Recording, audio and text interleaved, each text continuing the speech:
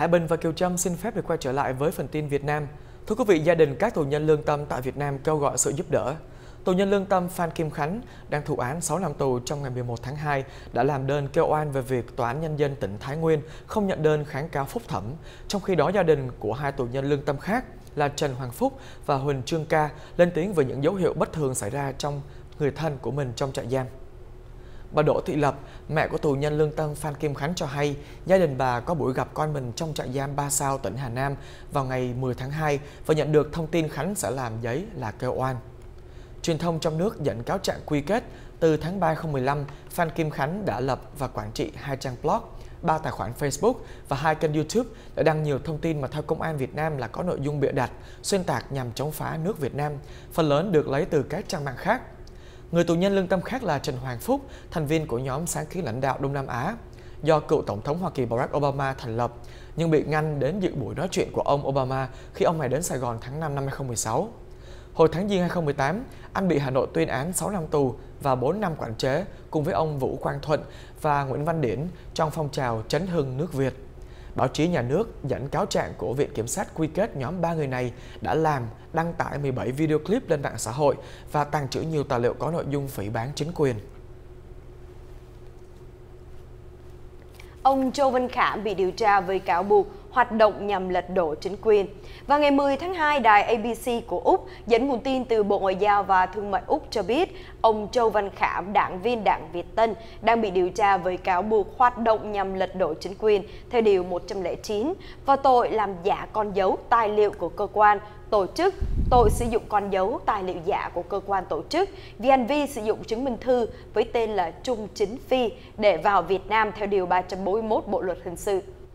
Vào ngày 30 tháng Giêng năm 2019, báo Công an của Cộng sản Việt Nam thừa nhận Công an Việt Nam đã bắt giữ công dân Úc gốc Việt vào khuya ngày 12 tháng Giêng khi đang lưu trú tại một khách sạn thuộc quận Phú Nhuận của Sài Gòn, cùng với thành viên của Hội Anh em Dân Chủ là ông Nguyễn Văn Viễn. Cả ông Châu Văn Khảm và ông Nguyễn Văn Viễn đều bị từ chối luật sư cho đến khi cuộc điều tra hoàn tất dự kiến vào cuối tháng 5 với lý do cần giữ bí mật điều tra đối với tội xâm phạm an ninh quốc gia. Cũng theo báo cáo mà đài ABC xem được trong suốt chuyến thăm lãnh sự, ông Châu Văn Khảm bị quay video khiến người ta lo ngại rằng ông sẽ không thể nói chuyện thoải mái với các quan chức Úc. Thưa quý vị, Bangkok Post đặt nghi vấn về sự im lặng của chính phủ vụ blogger Trương Duy Nhất.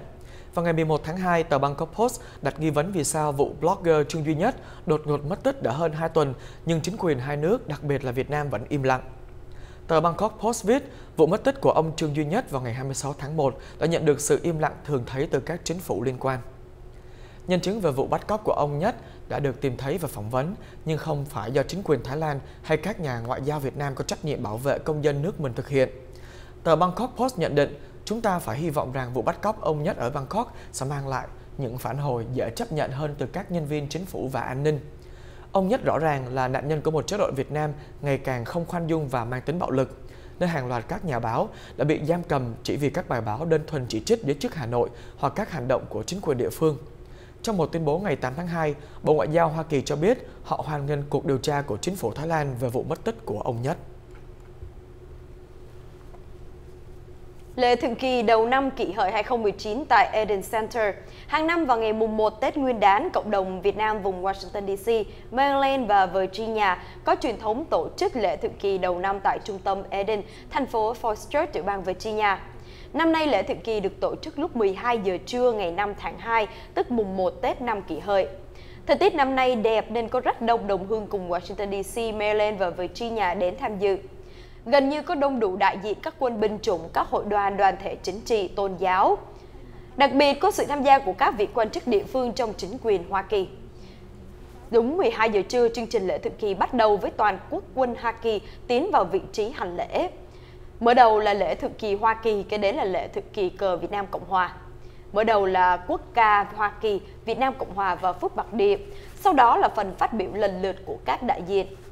Lễ thượng kỳ đầu năm kết thúc vào lúc 1 giờ trưa cùng ngày.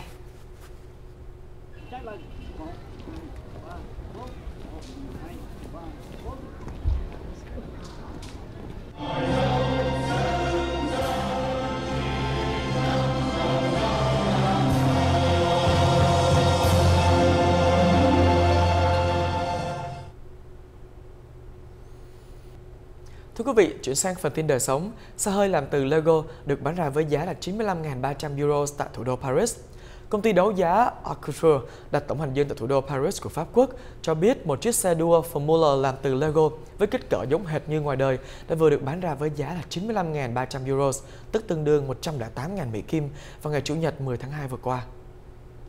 Chiếc xe độc đáo có 102 này đã được hai công ty Renault và Formula đồng lắp ráp, bao gồm tổng cộng là 313.000 viên gạch Lego. Số tiền mang về cao gấp 3 lần so với ước tính trước đó của ban tổ chức. Toàn bộ lợi nhuận sẽ được quyên tặng cho Quỹ Nhi đồng Liên Hiệp Quốc UNICEF để giúp đỡ cho các trẻ em trên toàn cầu.